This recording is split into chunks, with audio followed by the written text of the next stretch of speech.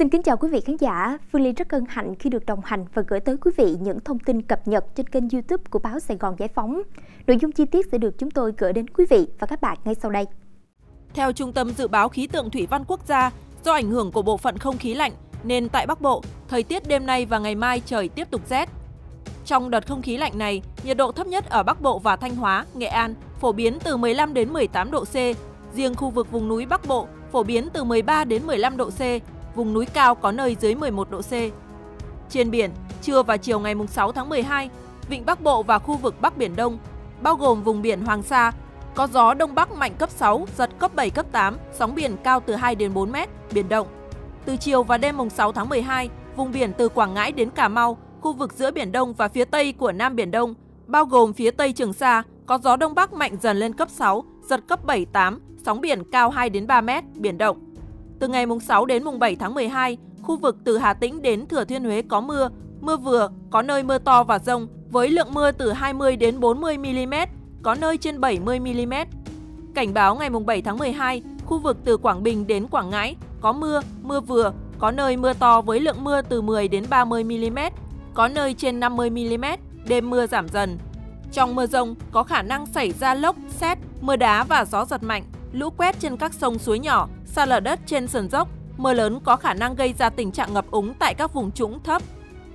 Dự báo thời tiết các khu vực trên cả nước. Thủ đô Hà Nội nhiều mây, ngày có lúc có mưa nhỏ, đêm không mưa, gió đông bắc cấp 3, trời rét, nhiệt độ thấp nhất từ 16 đến 18 độ C, nhiệt độ cao nhất từ 20 đến 22 độ C.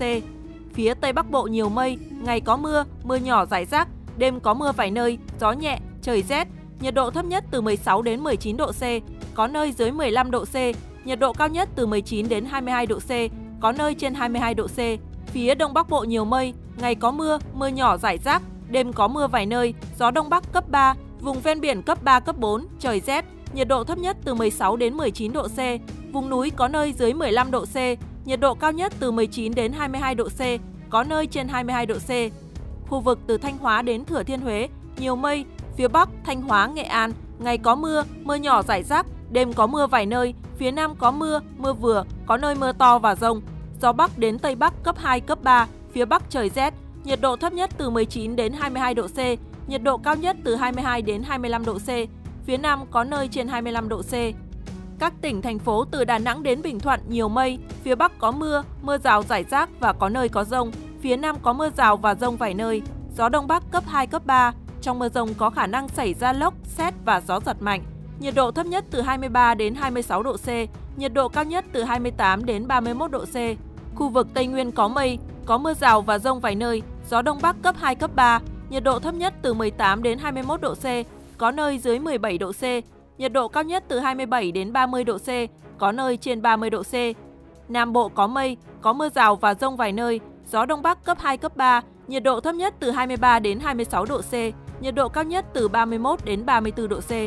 Khu vực thành phố Hồ Chí Minh, đêm về tiếp tục duy trì tình trạng ít mây, không mưa, nhiệt độ thấp nhất vẫn dao động trong phạm vi từ 25 đến 27 độ C, nhiệt độ dao động trong khoảng 32 đến 34 độ C. Những thông tin vừa rồi cũng đã khép lại chương trình của chúng tôi. Phương Ly rất mong nhận được sự quan tâm và đồng hành của quý vị khán giả dành cho các chương trình trên kênh YouTube của báo Sài Gòn Giải phóng. Đừng quên nhấn chuông theo dõi chúng tôi để không bỏ lỡ bất kỳ thông tin cập nhật nào. Xin kính chào và hẹn gặp lại.